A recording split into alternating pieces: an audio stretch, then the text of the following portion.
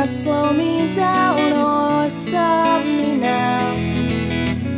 The hand of God won't be refused. Resist and rest assured,